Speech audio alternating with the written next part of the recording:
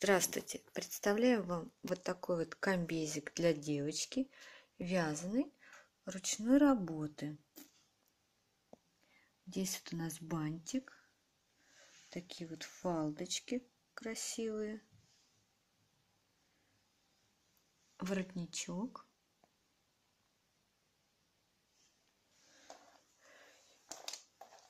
Животик закрыт почти.